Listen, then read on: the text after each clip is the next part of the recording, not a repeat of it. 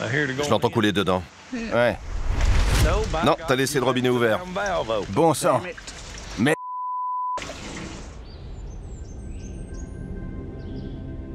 Dans le Tennessee, deux trafiquants d'alcool chevronnés ont fait une erreur de débutant. on a perdu quoi 20 litres?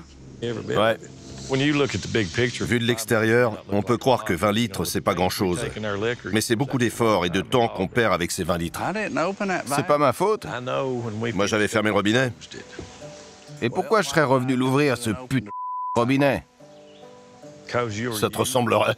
Je suis pas un génie, mais je sais me servir d'un robinet. L'ouvrir et le fermer? Continue de me charrier et tu vas recevoir mon pied où je pense. Ça sert à rien de trouver un coupable. L'alcool est perdu de toute façon. On va voir si on peut faire un peu de gin. Maintenant que les ingrédients ont macéré dans l'alcool de maïs, Mark et Digger entament la dernière étape de leur production de gin, la deuxième distillation. On va pouvoir distiller cet alcool macéré. On va filtrer l'alcool dans lequel les plantes et les fruits ont libéré tous leurs arômes. C'est un peu gazeux. On sent bien les agrumes.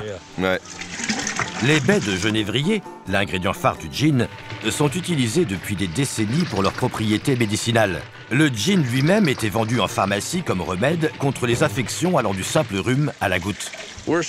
On va installer ce filet de manière à ce que les ingrédients flottent dans le mélange dans la cuve. Comme ça, il n'y aura aucun souci. Il n'y a que de la vapeur qui chauffera le tout en plus. C'est parti. Lançons la vapeur. C'est mon tour.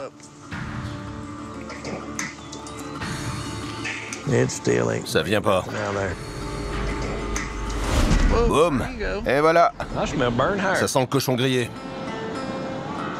Il faut savoir être patient et laisser les choses se faire.